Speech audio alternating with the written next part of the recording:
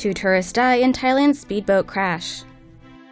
Two female tourists were killed when a speedboat overturned in rough waters near a southern Thai island on Thursday afternoon. According to reports, the speedboat was packed with a total of 36 passengers, including 31 foreigners, traveling from Mu Ko Ang National Park to Lomprayah Pier on the Thai island of Koh Samui.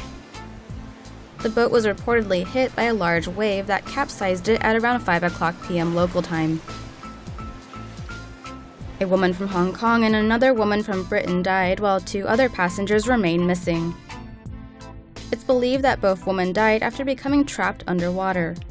According to Thai officials, the surf was rough at the time of the incident.